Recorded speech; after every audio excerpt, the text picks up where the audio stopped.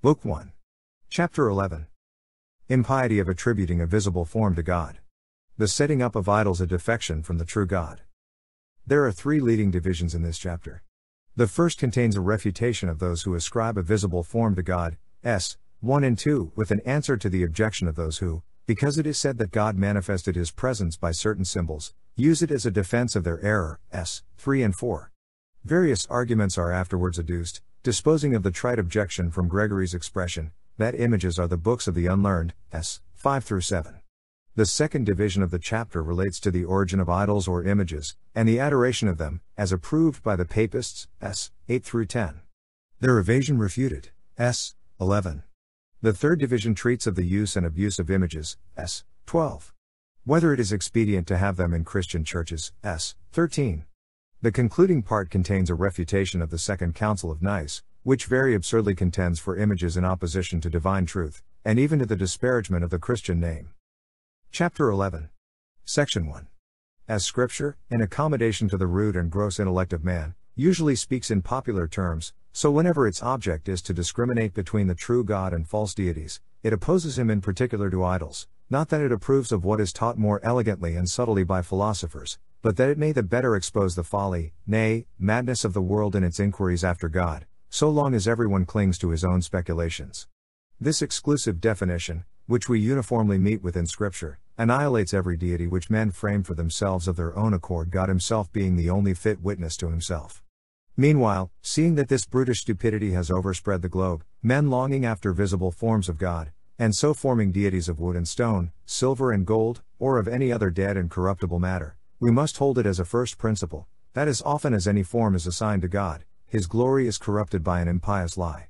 In the law, accordingly, after God had claimed the glory of divinity for himself alone, when he comes to show what kind of worship he approves and rejects, he immediately adds, Thou shalt not make unto thee any graven image, or any likeness of anything that is in heaven above, or in the earth beneath, or in the water under the earth. Exodus 24. By these words he curbs any licentious attempt we might make to represent him by a visible shape, and briefly enumerates all the forms by which superstition had begun, even long before, to turn his truth into a lie. For we know that the sun was worshipped by the Persian. As many stars as the foolish nations saw in the sky, so many gods they imagined them to be. Then to the Egyptians, every animal was a figure of God. The Greeks, again, plumed themselves on their superior wisdom in worshipping God under the human form, Maximus Tyrius Platonic. Sermon 38. But God makes no comparison between images, as if one were more, and another less befitting. He rejects, without exception, all shapes and pictures, and other symbols by which the superstitious imagine they can bring him near to them. Chapter 11. Section 2. This may easily be inferred from the reasons which he annexes to his prohibition.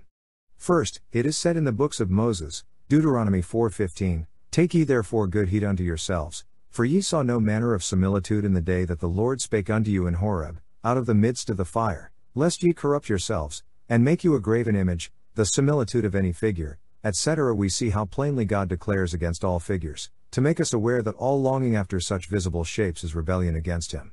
Of the prophets, it will be sufficient to mention Isaiah, who is the most copious on this subjects. Isaiah 40:18, 41 7 and 29, 45 9, 46 5, in order to show how the majesty of God is defiled by an absurd and indecorous fiction, when he who is incorporeal is assimilated to corporeal matter, he who is invisible to a visible image, he who is a spirit to an inanimate object, and he who fills all space to a bit of paltry wood, or stone, or gold.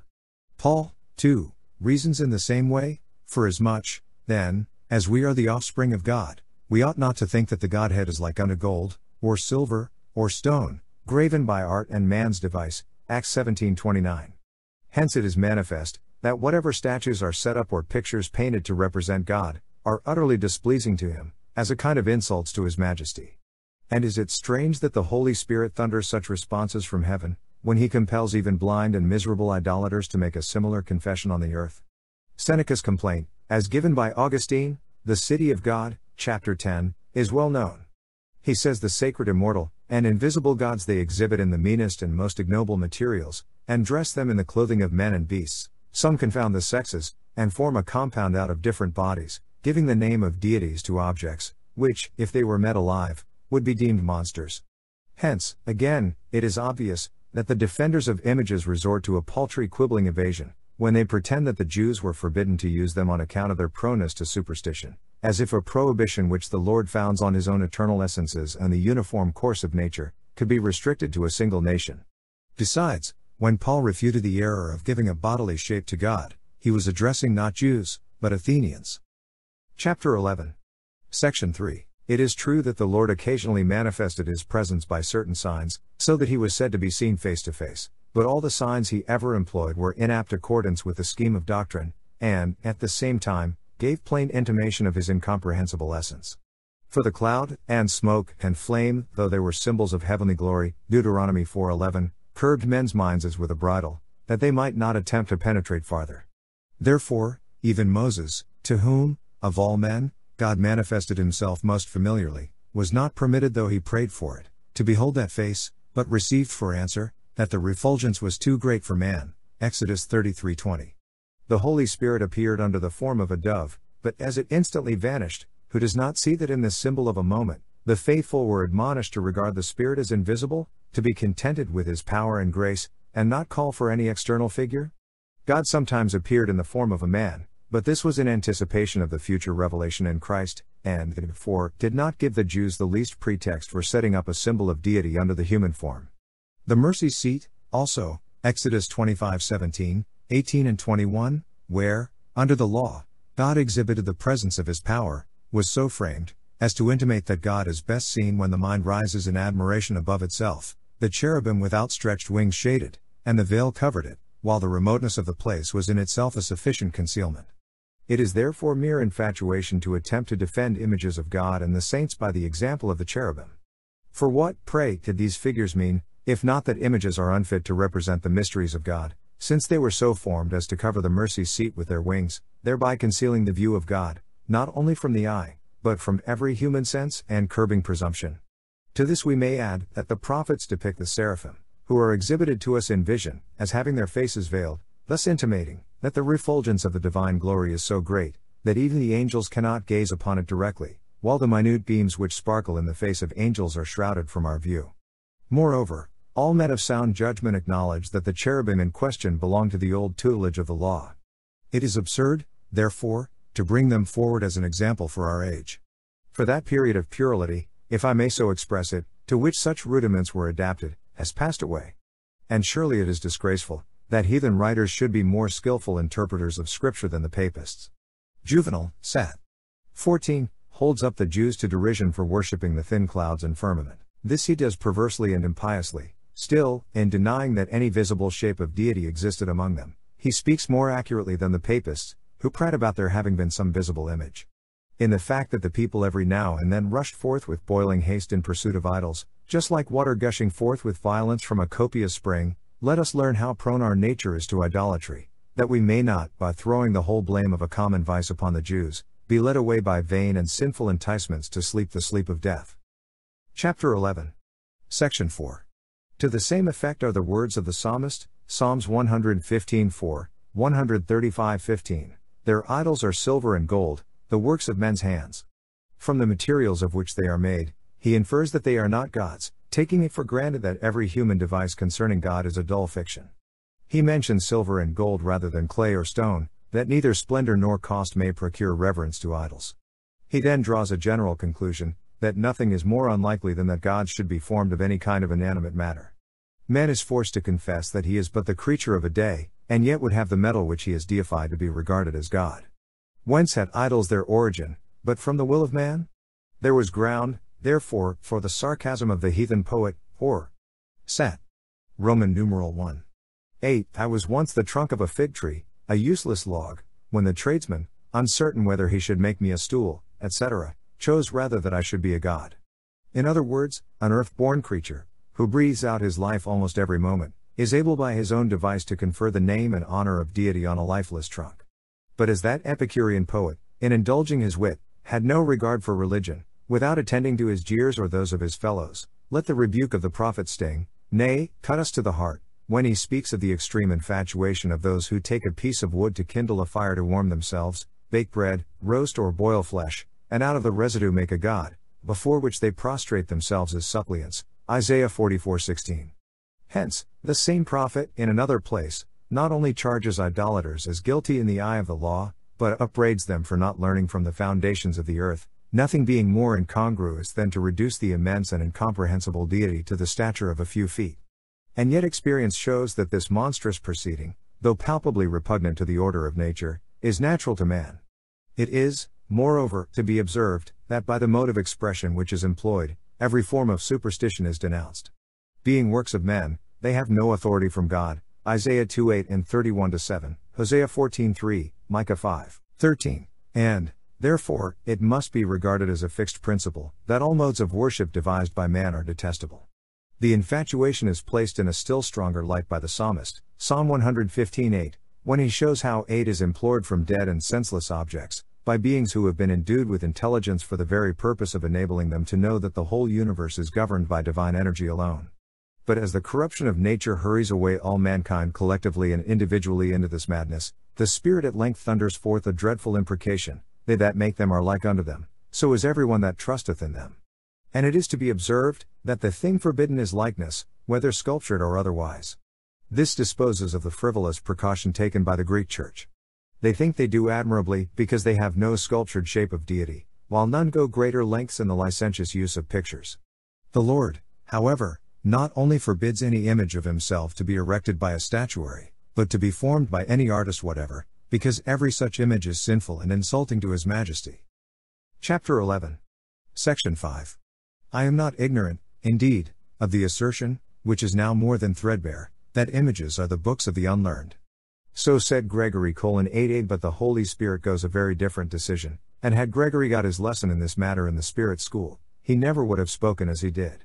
For when Jeremiah declares that the stock is a doctrine of vanities, Jeremiah 10:8, and Habakkuk, that the molten image is a teacher of lies, the general doctrine to be inferred certainly is, that everything respecting God which is learned from images is futile and false.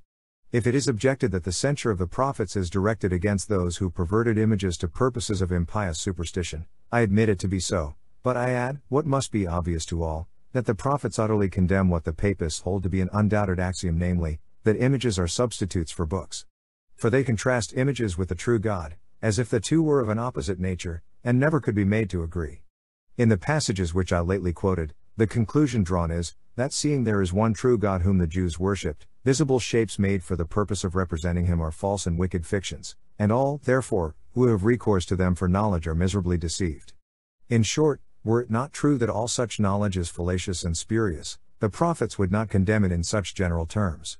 This at least I maintain, that when we teach that all human attempts to give a visible shape to God are vanity and lies, we do nothing more than state verbatim what the prophets taught. Chapter 11. Section 6. Moreover, let Lactantius and Eusebius be read on this subject. These writers assume it as an indisputable fact that all the beings whose images were erected were originally men. In like manner, Augustine distinctly declares that it is unlawful not only to worship images, but to dedicate them. And in this he says no more than had been long before decreed by the Libertine Council, the 36th canon of which is, There must be no pictures used in churches, let nothing which is adored or worshipped be painted on walls.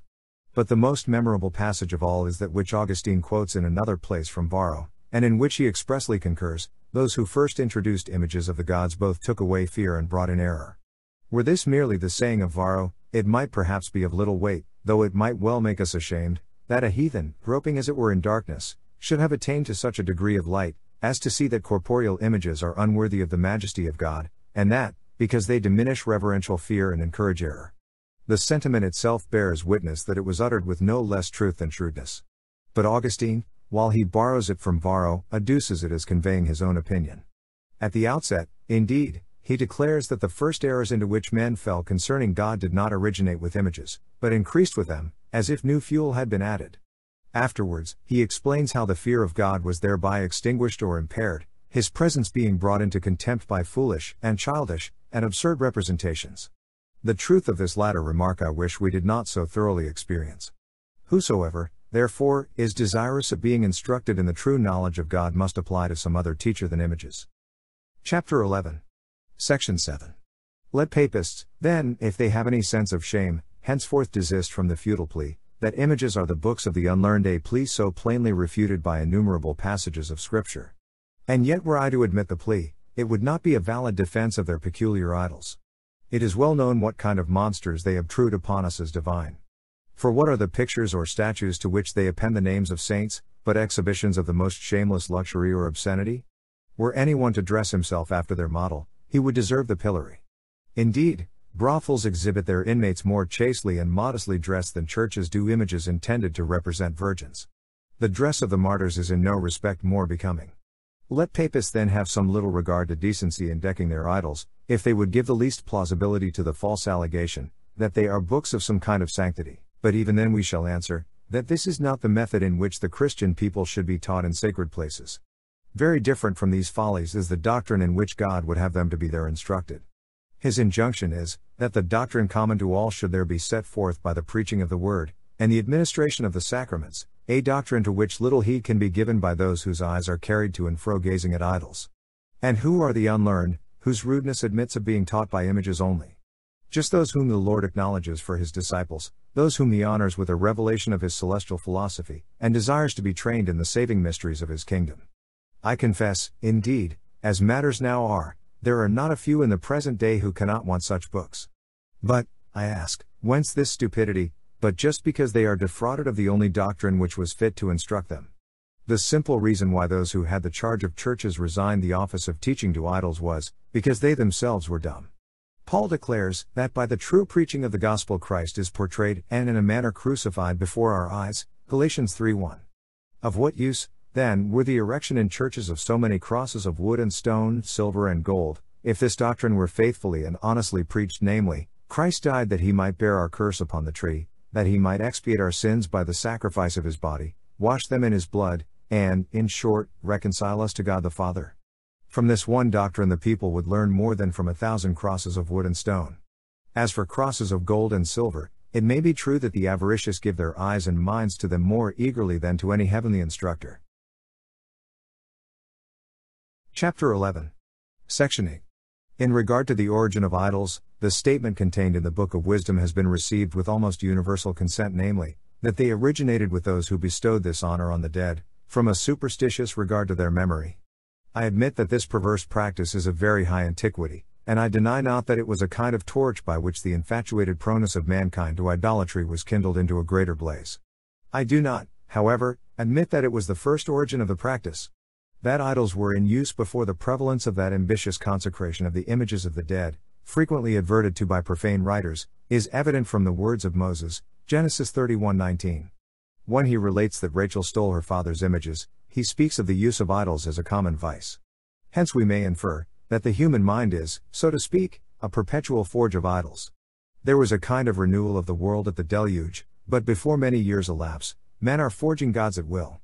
There is reason to believe, that in the holy patriarch's lifetime his grandchildren were given to idolatry, so that he must with his own eyes, not without the deepest grief, have seen the earth polluted with idols, that earth whose iniquities God had lately purged with so fearful a judgment. For Joshua testifies, Joshua 24 2, that Terah and Nachor, even before the birth of Abraham, were the worshippers of false gods. The progeny of Shem having so speedily revolted, what are we to think of the posterity of Ham, who had been cursed long before in their father? Thus, indeed, it is. The human mind, stuffed as it is with presumptuous rashness, dares to imagine a God suited to its own capacity, as it labors under dullness, nay, is sunk in the grossest ignorance, it substitutes vanity and an empty phantom in the place of God. To these evils another is added. The God whom man has thus conceived inwardly he attempts to embody outwardly. The mind, in this way, conceives the idol, and the hand gives it birth. That idolatry has its origin in the idea which men have, that God is not present with them unless his presence is carnally exhibited, appears from the example of the Israelites Up, said they, make us gods, which shall go before us. For as for this Moses, the man that brought us up out of the land of Egypt, we wit not what is become of him. Exodus 22 1.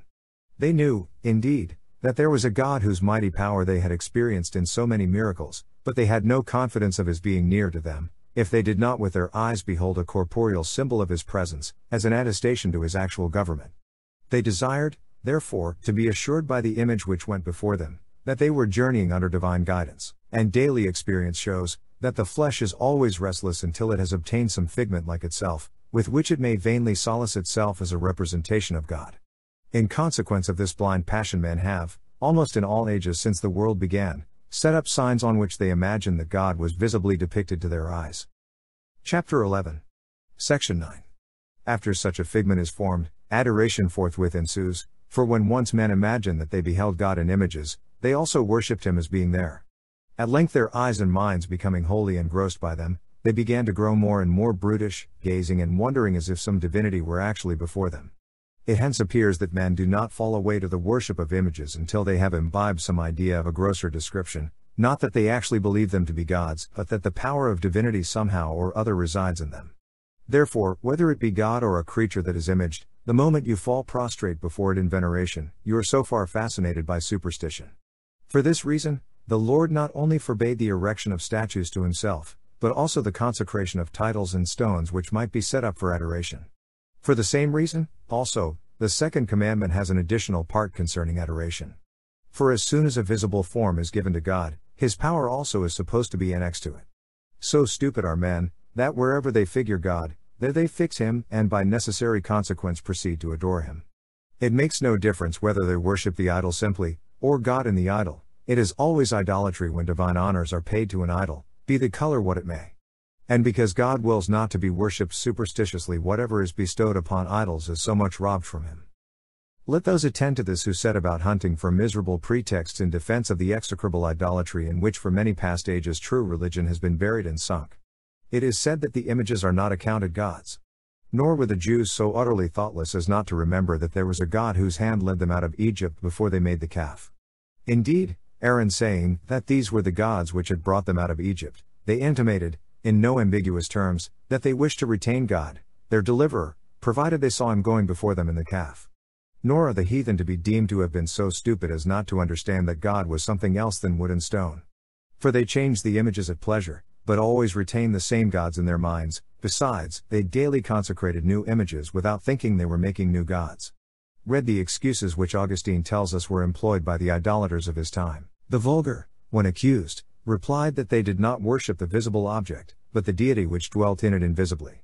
Those, again, who had what he calls a more refined religion, said that they neither worshipped the image, nor any inhabiting deity, but by means of the corporeal image beheld a symbol of that which it was their duty to worship.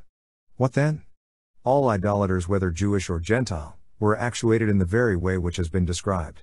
Not contented with spiritual understanding, they thought that images would give them a surer and nearer impression. When once this preposterous representation of God was adopted, there was no limit until, deluded every now and then by new impostors, they came to think that God exerted his power in images. Still, the Jews were persuaded that under such images they worshipped the eternal God, the one true Lord of heaven and earth, and the Gentiles, also, in worshipping their own false gods, suppose them to dwell in heaven. Chapter 11. Section 10. It is an impudent falsehood to deny that the thing which was thus anciently done is also done in our day. For why do men prostrate themselves before images? Why, when in the act of praying, do they turn towards them as to the ears of God?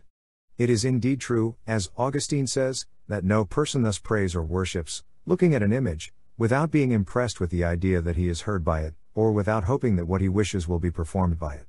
Why are such distinctions made between different images of the same God, that while one is passed by, or receives only common honor, another is worshipped with the highest solemnities? Why do they fatigue themselves with votive pilgrimages to images while they have many similar ones at home? Why at the present time do they fight for them to blood and slaughter, as for their altars and hearths, showing more willingness to part with the one God than with their idols? And yet I am not now detailing the gross errors of the vulgar errors almost infinite in number, and in possession of almost all hearts. I am only referring to what those profess who are most desirous to clear themselves of idolatry. They say, We do not call them our gods. Nor did either the Jews or Gentiles of old so call them, and yet the prophets never ceased to charge them with their adulteries with wood and stone for the very acts which are daily done by those who would be deemed Christians, namely, for worshipping God carnally in wood and stone.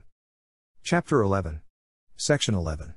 I am not ignorant, however, and I have no wish to disguise the fact, that they endeavor to evade the charge by means of a more subtle distinction, which shall afterwards be fully considered. The worship which they pay to their images they cloak with the name of idolodulia, and deny to be idolatria. So they speaks holding that the worship which they call dulia may, without insult to God, be paid to statues and pictures. Hence, they think themselves blameless if they are only the servants, and not the worshippers, of idols, as if it were not a lighter matter to worship than to serve. And yet, while they take refuge in a Greek term, they very childishly contradict themselves. For the Greek word latreuein having no other meaning than to worship, what they say is just the same as if they were to confess that they worship their images without worshipping them. They cannot object that I am quibbling upon words. The fact is, that they only betray their ignorance while they attempt to throw dust in the eyes of the simple. But how eloquent soever they may be, they will never prove by their eloquence that one and the same thing makes two. Let them show how the things differ if they would be thought different from ancient idolaters. For as a murderer or an adulterer will not escape conviction by giving some adventitious name to his crime, so it is absurd for them to expect that the subtle device of a name will exculpate them, if they, in fact, differ in nothing from idolaters whom they themselves are forced to condemn.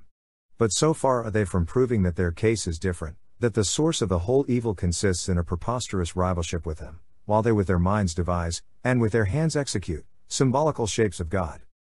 Chapter 11. Section 12. I am not, however, so superstitious as to think that all visible representations of every kind are unlawful. But as sculpture and painting are gifts of God, what I insist for is, that both shall be used purely and lawfully, that gifts which the Lord has bestowed upon us, for His glory and our good, shall not be preposterously abused, nay, shall not be perverted to our destruction. We think it unlawful to give a visible shape to God, because God Himself has forbidden it, and because it cannot be done without, in some degree, tarnishing His glory. And lest any should think that we are singular in this opinion, those acquainted with the productions of sound divines will find that they have always disapproved of it. If it be unlawful to make any corporeal representation of God, still more unlawful must it be to worship such a representation instead of God, or to worship God in it. The only things, therefore, which ought to be painted or sculptured, are things which can be presented to the eye, the majesty of God, which is far beyond the reach of any eye, must not be dishonored by unbecoming representations. Visible representations are of two classes namely, historical, which give a representation of events, and pictorial, which merely exhibit bodily shapes and figures. The former are of some use for instruction or admonition. The latter, so far as I can see, are only fitted for amusement. And yet it is certain, that the latter are almost the only kind which have hitherto been exhibited in churches. Hence we may infer, that the exhibition was not the result of judicious selection, but of a foolish and inconsiderate longing. I say nothing as to the improper and unbecoming form in which they are presented, or the wanton license in which sculptors and painters have here indulged, a point to which I alluded a little ago, supra, section 7. I only say, that though they were otherwise faultless, they could not be of any utility in teaching. Chapter 11. Section 13. But, without reference to the above distinction, let us here consider, whether it is expedient that churches should contain representations of any kind, whether of events or human forms. First, then, if we attach any weight to the authority of the ancient church, let us remember that for 500 years, during which religion was in a more prosperous condition, and a purer doctrine flourished, Christian churches were completely free from visible representations. Hence, their first admission as an ornament to churches took place after the purity of the ministry had somewhat degenerated. I will not dispute as to the rationality of the grounds on which the first introduction of them proceeded, but if you compare the two periods, you will find that the latter had greatly declined from the purity of the times when images were unknown. What then? Are we to suppose that those holy fathers, if they had judged the thing to be useful and salutary, would have allowed the church to be so long without it? Undoubtedly, because they saw very little or no advantage, and the greatest danger in it, they rather rejected it intentionally and on rational grounds, then omitted it through ignorance or carelessness. This is clearly attested by Augustine in these words when images are thus placed aloft in seats of honor, to be beheld by those who are praying or sacrificing, though they have neither sense nor life, yet from appearing as if they had both, they affect weak minds just as if they lived and breathed, etc. And again, in another passage he says, the effect produced, and in a manner extorted, by the bodily shape, is, that the mind, being itself in a body, imagines that a body which is so like its oven must be similarly affected, etc. A little farther on he says, Images are more capable of giving a wrong bent to an unhappy soul, from having mouth, eyes, ears, and feet, than of correcting it, as they neither speak, nor see, nor hear, nor walk. This undoubtedly is the reason why John, 1 John 5:21, enjoins us to beware, not only of the worship of idols, but also of idols themselves, and from the fearful infatuation under which the world has hitherto labored, almost to the entire destruction of piety. We know too well from experience that the moment images appear in churches, idolatry has as it were raised its banner, because the folly of manhood cannot moderate itself, but forthwith falls away to superstitious worship. Even were the danger less imminent, still, when I consider the proper end for which churches are erected, it appears to me more unbecoming their sacredness than I well can tell, to admit any other images than those living symbols which the Lord has consecrated by His own word, I mean baptism and the Lord's Supper, with the other ceremonies. By these our eyes ought to be more steadily fixed, and more vividly impressed, than to require the aid of any images which the wit of man may devise. Such, then, is the incomparable blessing of images a blessing, the one of which, if we believe the papists, cannot possibly be compensated. Chapter 11. Section 14.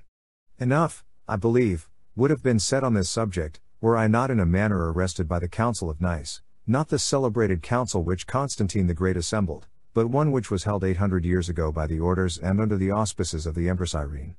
This council decreed not only that images were to be used in churches, but also that they were to be worshipped.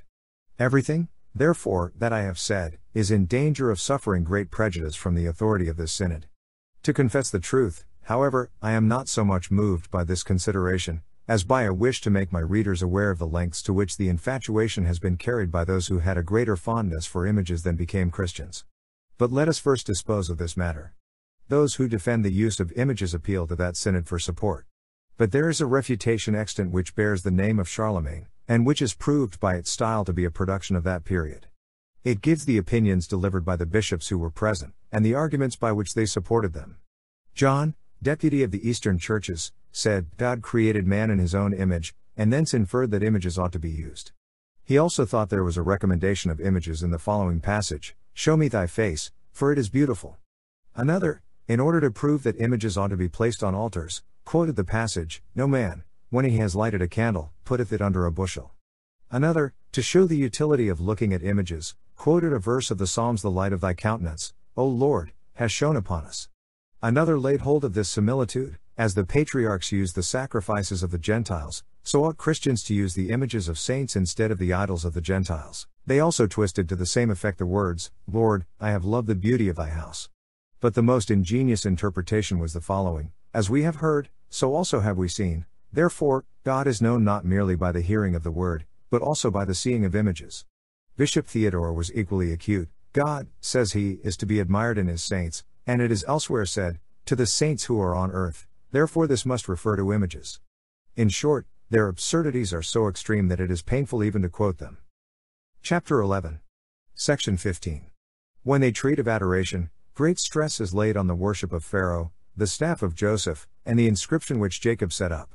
In this last case, they not only pervert the meaning of Scripture, but quote what is nowhere to be found. Then the passages worship at his footstool, worship in his holy mountain, the rulers of the people will worship before thy face, seem to them very solid and apposite proofs were one, with the view of turning the defenders of images into ridicule, to put words into their mouths, could they be made to utter greater and grosser absurdities? But to put an end to all doubt on the subject of images, Theodosius, Bishop of Myra, confirms the propriety of worshipping them by the dreams of his archdeacon, which he adduces with as much gravity as if he were in possession of a response from heaven. Let the patrons of images now go and urge us with the decree of this synod, as if the venerable fathers did not bring themselves into utter discredit by handling Scripture so childishly or resting it so shame. 16. I come now to monstrous impieties, which it is strange they ventured to utter, and twice strange that all men did not protest against with the utmost detestation. It is right to expose this frantic and flagitious extravagance, and thereby deprive the worship of images of that gloss of antiquity in which papists seek to deck it. Theodosius, Bishop of Amora, fires often anathema at all who object to the worship of images. Another attributes all the calamities of Greece and the East to the crime of not having worshipped them. Of what punishment then are the prophets, apostles, and martyrs worthy, in whose day no images existed? They afterwards add, that if the statue of the emperor is met with odors and incense, much more are the images of saints entitled to the honor. Constantius, Bishop of Constantia in Cyprus, professes to embrace images with reverence, and declares that he will pay them the respect which is due to the ever blessed Trinity. Every person refusing to do the same thing he anathematizes and classes with Marcionites and Manichees. Lest you should think this the private opinion of an individual, they all assent. Nay, John the Eastern Legate, carried still farther by his zeal, declares it would be better to allow a city to be filled with brothels than be denied the worship of images. At last it is resolved with one consent that the Samaritans are the worst of all heretics, and that the enemies of images are worse than the Samaritans. But that the play may not pass off without the accustomed plaudit, The whole thus concludes Rejoice and exult, ye who, having the image of Christ, offer sacrifice to it. Where is now the distinction of latria and dulia with which they would throw dust in all eyes, human and divine? The council unreservedly relies as much on images as on the living God.